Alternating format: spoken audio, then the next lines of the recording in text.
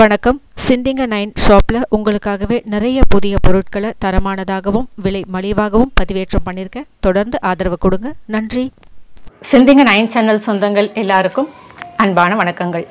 இன்றைக்கி நம்ம சேனல் ஆன்மீக தகவல் பகுதியில் குலவி கூடு. இதை பற்றி தான் நாம் தெரிஞ்சுக்க போகிறோம் வீட்டில் குலவி கூடு கட்டினால் நல்லதா? ரொம்ப ரொம்ப ரொம்ப நல்லது. அதாவது பழங்காலத்தில் ஒரு சொல் வழக்கம் உண்டு. என்ன அப்படின்னு கேட்டிங்கன்னா குலவி கூடு கட்டினால் பிறப்பு நாய் பள்ளம் தோண்டினால் இறப்பு அப்படின்னு. அதாவது வீட்டில் குலவி கூடு கட்டுதுன்னு வச்சுக்கோங்களேன் அந்த வீட்டில் ஒரு குழந்தை பிறக்க வாய்ப்பு உண்டு அப்படின்னு சொல்லுவாங்க. அதாவது குலவி கூடு கட்டுச்சுன்னா அந்த வீட்டில் ஒரு குழந்தை பிறக்கும் அப்படின்னு சொல்லுவாங்க. அதுவே நாய் பள்ளம் தோண்டுச்சுன்னு வச்சுக்கோங்க நம்ம வீட்டில் அந்த வீட்டில் மரணம் நிகழும் சொல் வழக்கம் உண்டு. அதனால் குலவி கூடு கட்டுது அப்படின்னா அது நல்லது. அது மண்ணால் கூடு கட்டுது. அது ரொம்ப ரொம்ப நல்லது. ஆனால் நாய் வந்து பள்ளம் தோண்டுது பார்த்தீங்களா அது கெட்ட சகுனம் அப்படின்னு சொல்லுவாங்க. அதே போல் தேனியும் கூட வீட்டில் கூடு கட்டக்கூடாது. தேனி கூடு கட்டினாலும் அது கெட்ட சகுனம் தான். அதனால் குலவி கூடு கட்டினால் நல்லது. ஆனால் அந்த குலவி எங்கே கூடு கட்டுது அப்படின்றத பார்த்துக்குங்க ஏன்னா உங்கள் வீட்டில் சின்ன குழந்தைங்க என்ன இருக்காங்க.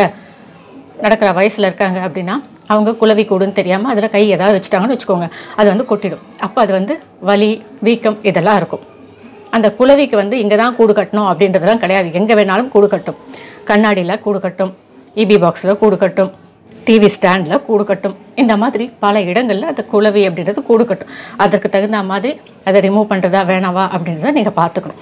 அதை ஒரு வேளை நாம் கை வைக்கக்கூடிய இடத்துல அது கூடு கட்டுச்சுன்னு வச்சுக்கோங்க.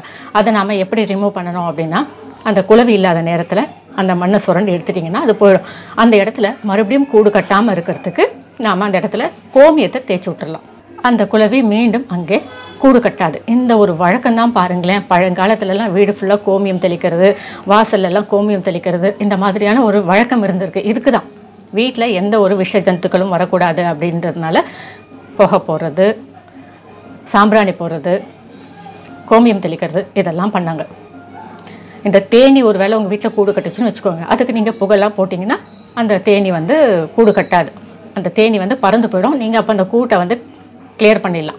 கோமியம் தெளிச்சிட்டிங்க அப்படின்னு சொன்னால் அந்த வாசனைக்கு மீண்டும் அங்கே வந்து அந்த குளவியாகட்டும் தேனியாகட்டும் மறுபடியும் கூடு கட்டாது.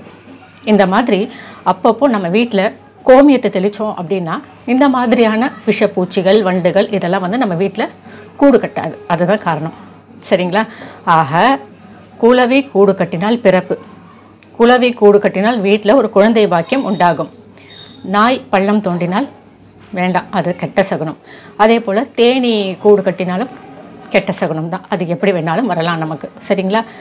இன்றைக்கி இந்த தகவல் உங்களுக்கு பயனுள்ள தகவலாக இருக்கும் அப்படின்னு நான் நம்புகிறேன் இந்த சேனலை சப்ஸ்கிரைப் பண்ணுங்கள் ஷேர் பண்ணுங்கள் லைக் பண்ணுங்கள் தவறாமல் உங்களுடைய கருத்துக்களை எங்களுக்கு பதிவு பண்ணுங்கள் இதே போல் வேறு ஒரு புதிய பதிவுடன் சந்திக்கும் வரை வணக்கம்.